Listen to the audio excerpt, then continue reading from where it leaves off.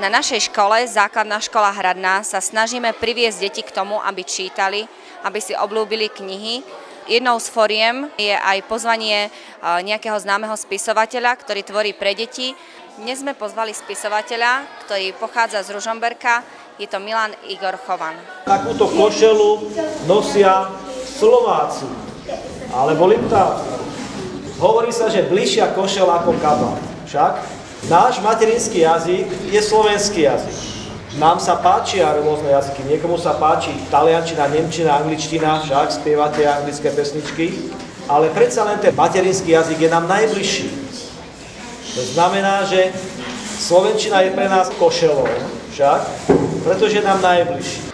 V skupine slovanských jazykov považujem slovenčinu za meký, ľúbivý, zvonivý, iriečitý, originálny jazyk, ktorý som prirovnal k tomu gorálskému klobúku, ktorý je takou nepísanou šlachtou medzi slovenskými ľudovými klobúkmi. Akým témam sa vo vašich knihách venujete najviac? E, no snad najväčšou témou je detská téma, rozprávka, prvom rade sa snažím podať mladému čitateľovi príbeh e, v prírodnom poňatí z pohľadu, že príroda je živá bytosť, že strom nie je len drevo, že e, potok a rieka nie je len voda, že hora nie je len kameň, ale že všetky tieto miesta sú obývané škriatkami, výlami, bytostiami rôzneho druhu a teda, že celá príroda ako, ako komplex je vlastne živý organizmus.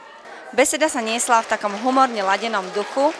Pán Chovan nám porozprával o svojich knihách. Každé dieťa si odnieslo záložku do knihy s podpisom a my pevne veríme, že takáto beseda nebola posledná.